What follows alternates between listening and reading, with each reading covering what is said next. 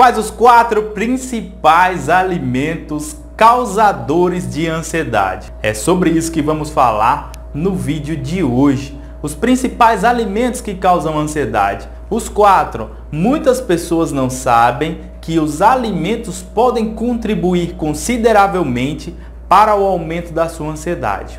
Muitas vezes até trazendo complicações, né? Crises de ansiedade, ansiedade generalizada. Então é preciso, para você que está passando por momentos de ansiedade, prestar atenção também aos alimentos que você consome, porque eles são muito importantes na superação e no tratamento. Então acompanhe esse vídeo rápido até o final e agora roda a vinheta.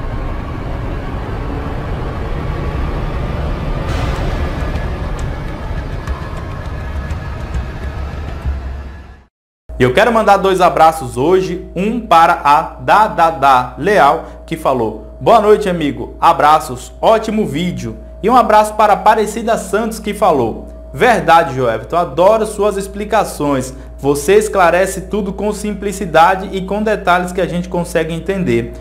Tudo muito bem. Amei esse vídeo. Abraço.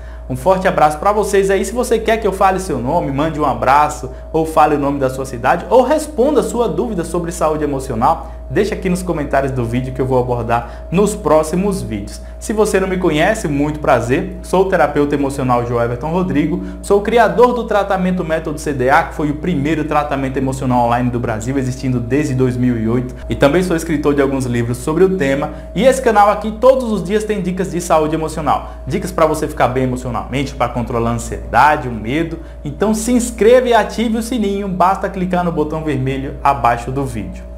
Meus amigos, os alimentos são importantes na superação da ansiedade. Tá? Você precisa entender que negligenciar a sua alimentação pode estar te fazendo se sentir ansioso, pode estar causando ansiedade em você. Mas veja bem, não a ponto de você ter crises de ansiedade.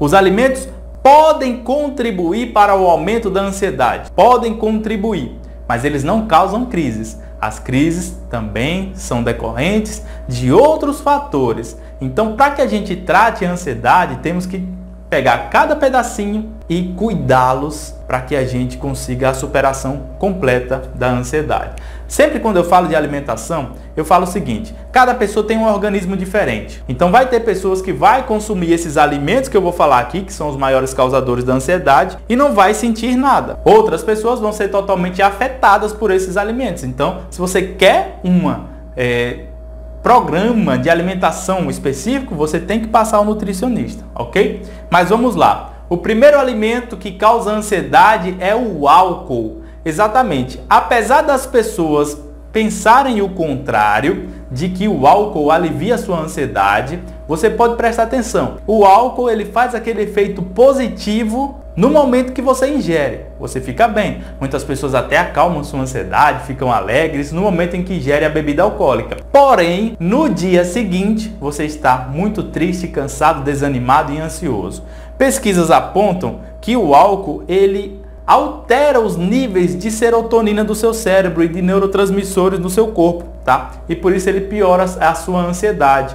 Então, beba com moderação e se você sentir que o álcool está transformando muito o seu humor, te deixando muito ansioso, considere a hipótese de você parar de consumir essa bebida alcoólica. O segundo lugar todo mundo conhece, é a cafeína. Não só o café, a cafeína, porque a cafeína está presente em muitos produtos que você consome provavelmente você nem sabe, tá? O produto mais é, consumido é o café, mas existe uma infinidade de produtos que você consome que possui a cafeína. A cafeína ela acelera o seu metabolismo e altos níveis de cafeína pode atrapalhar no seu sono, pode causar nervosismo, mal-estar e isso eu estou lendo aqui de um estudo que foi feito que 62% da população consome mais de 3 xícaras de café diariamente.